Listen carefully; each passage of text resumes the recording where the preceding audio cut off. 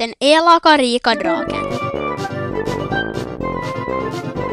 Det var en gång en rik, ful och elak drake.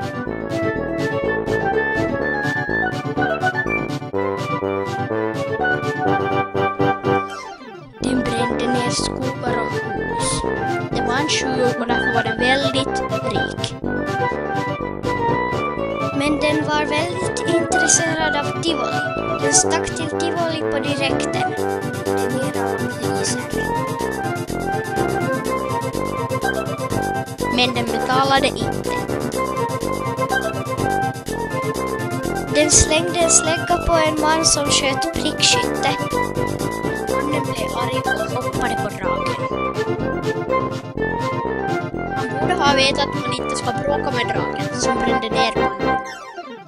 Men sedan fylldes tivolit av arga soldater som ville fånga draken. Den gav pengar.